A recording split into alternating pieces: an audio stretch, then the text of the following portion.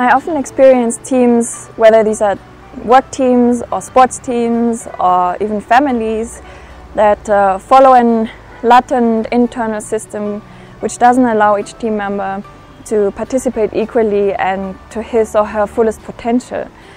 Um, I think that often power differences prevent teams to actually use the knowledge and the creativity of each of, of the, its members. And I find that very unfortunate and I want to change that. So I participate in Miki Kashtan's workshop because I believe that teams should be based on mutual respect and recognition of the specific skills and knowledge that each team member brings to the team. And, uh, and I believe that I can learn these skills in a workshop. I've had the chance myself to be part of a team that tried to transform its system into a more collaborative one. But unfortunately, we ended up having long, very long, draining and divisive team meetings. So I'm participating in the workshop in order to learn methods and tools to be much more successful in building collaborative teams.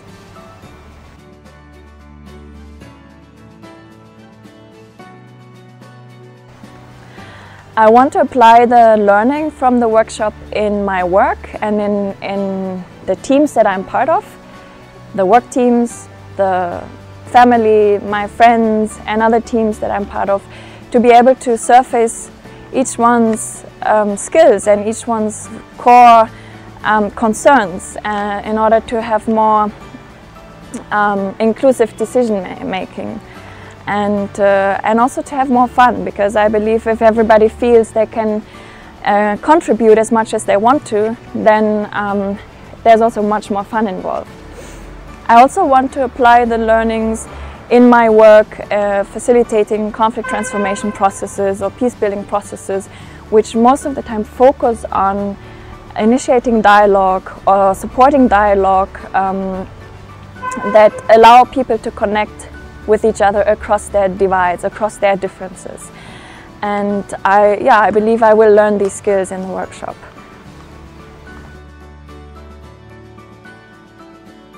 I'm very grateful for Ahimsa Gram to um, organizing, not only for organizing this workshop in a very yeah, transparent and thorough manner, but most of all for allowing us as outsiders to participate in their organizational coaching session I believe it's not easy to let outsiders get an insight into internal processes that might have also conflicts involved. So I, yeah, I think that that really shows how truly and wholeheartedly they um, desire for collaboration and I'm very grateful for that and I'm also inspired by that.